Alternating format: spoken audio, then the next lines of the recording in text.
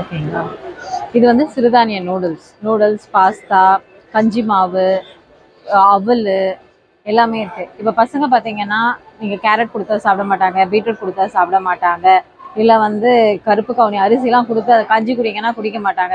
இதே நூடுல்ஸ்னால் கொஞ்சம் விருப்பப்பட்டு சாப்பிடுவாங்க.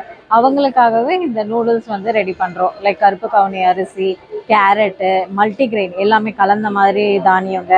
அப்புறம் பார்த்தீங்கன்னா கஞ்சி மாவு இருக்குது கருப்பு கவுனியில் கஞ்சி மாவு இருக்குது அடுத்து ரோட்டி மிக்ஸ் இருக்குது அடை மாவு இருக்குது அப்புறம் வந்து அவல்.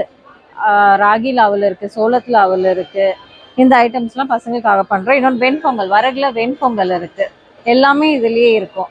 உங்களுக்கு ஜஸ்ட் நீங்கள் இதை குக்கரில் போட்டு அதுக்கேற்ற தண்ணி ஒன் இஸ் டு ஃபோருங்கிற ரேஷியோவில் தண்ணி ஊற்றி விசில் விட்டிங்கன்னா போதும். உங்களுக்கு பொங்கல் ரெடி ஆகிடும் சீக்கிரமாக ரெடி ஆகிடும் நெய் ஊற்றி அப்படியே சாப்பிட வேண்டியது தான் ஆனால் சூடாக சாப்பிடணும். ஆமாம் கண்டிப்பாக சூடாக சாப்பிடுவேன் இல்லைனா சாப்பிட முடியாது. நானே சொல்லிடுவேன் அதை. சாப்பிட முடியாது. காண்டாக்ட் நம்பர் வந்து சிக்ஸ் த்ரீ ஆ அந்த நம்பர் நீங்கள் ஆ. Nine five nine seven nine eight six five zero six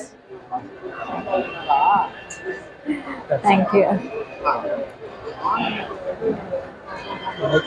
ஆ.